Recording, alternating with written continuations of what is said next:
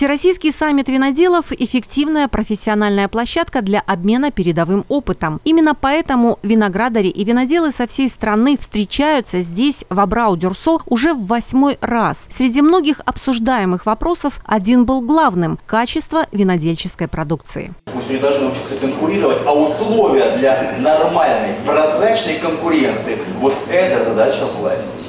Но для конкуренции, еще раз подчеркиваю, а не для каких-то там радикальных способов. Сбалансировано все должно быть. Сбалансировано. Поэтому я сторонник, еще раз подчеркиваю, не революции виноделия, виноградарства и каких-то мер, а эволюции. Для того, чтобы мы все-таки шли к рынку цивилизованному, цивилизованному рынку. Но он должен быть. А вы должны научиться конкурировать, в том числе на этом рынке.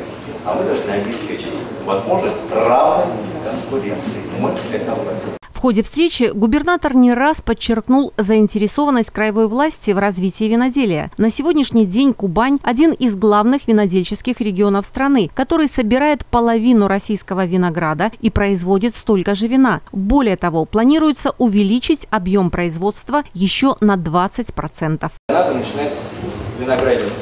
Сегодня надо закладывать как можно больше виноградников, и для этого нужно закон о вине и винограде и вине. Что касается новороссийских виноделов, то они давно и прочно занимают лидирующие позиции в отрасли. Винный дом Абрау Дюрсо в представлении не нуждается. Торговая марка Семигорье пользуется огромным спросом у жителей региона и страны. Именно поэтому кубанские вина признаны лучшими винами России сразу в пяти номинациях из шести. Спасибо великому жюри и спасибо нашей команде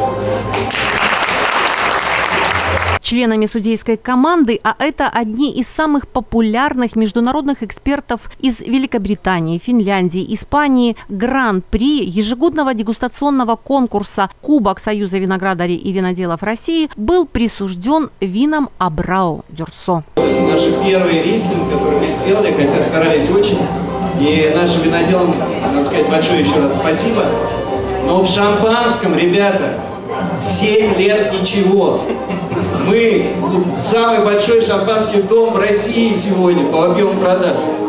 И на восьмой год, наконец-то, это случилось. Победы новороссийских виноделов – результат огромного труда коллективов предприятий, обеспечивающих весь цикл качественного производства – от куста винограда до полки в супермаркете. Но для того, чтобы копилка побед продолжала пополняться, виноградарям и виноделам нужна поддержка на всех уровнях власти последние четыре года пошло движение в области виноградарства и виноделия.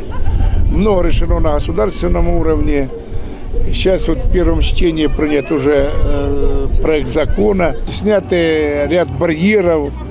Сегодня э, большие подвижки в Крыму и здесь на Кубани. Убедиться в качестве российских вин можно было на самой масштабной в стране выставке презентации, на которой представлены вина как от самых значимых предприятий отрасли, так и от новых игроков винного рынка. Так, винодельня Мысхака после длительного периода стагнации вновь уверенно заявила о качестве и популярности своей продукции. Бренд Мысхака вновь вернулся на рынок. Качеству уже на сегодняшний день уделяется внимание вижу как винодел, как руководитель, что в следующем году мы сделаем прорыв некие э, создание новых линеек, создание новой ассортиментной матрицы с новым качеством выйдем на рынок.